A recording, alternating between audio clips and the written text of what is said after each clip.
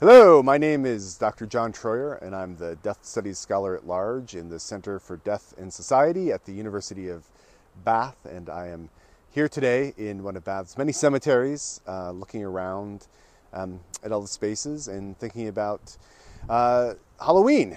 Depending on where you're born or how you're raised, it could be a religious faith, it could be just a different cultural practice, even the part of the world um, that can significantly shape how you perceive death and dying, both on a personal level, but also on a family level, but also in the community. So if you grew up in the States like I did in the Midwest, that'll have one kind of idea based on, say, Protestant Methodist upbringing that I went through, or if you grew up in, say, different parts of Asia, such as China or Japan, or different parts of Europe, or down in Central and South America, all these places will have an impact on how you think about it. But then, too, also your personal experiences. So, how do you then understand those practices and make sense of what happens when someone dies? I've always argued that gravestones um, are really, they're an early example of a kind of social media that's trying to explain that someone had lived a life and we've moved things digitally, but the gravestones do the same kind of thing. So there's debate about where marking of stones comes from, and if you ever want to get a good one going, just ask anthropologists and archaeologists to discuss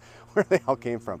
But there is a, a strong belief that the stone marking or laying out stones starts many eons ago, uh, and sometimes there may not be inscriptions, but there could have been stones to note that someone had died.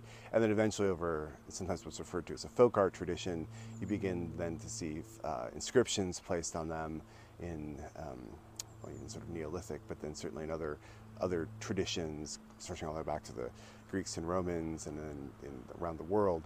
Uh, and then they ev eventually develop into what we think of today as being a very Victorian practice uh, that continues into the 21st century. It's not as if we don't have gravestones anymore.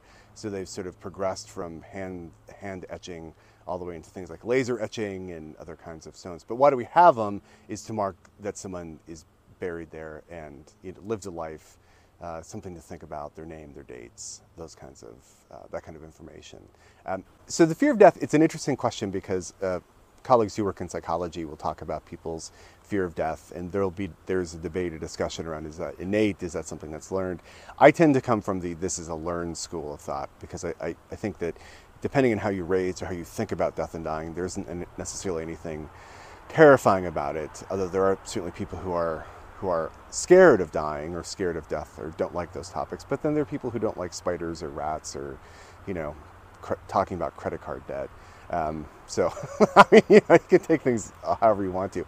That said, um, is there a role for the fear of death? Well, I think so. In a way, you can think about it almost in an evolutionary sense that one of the reasons we want to uh, persevere in living is because if, if we didn't, then there would be a sharp decline in the, the species as a whole. But that said, what can we learn from the fear of death? I think it makes us contemplate our mortality.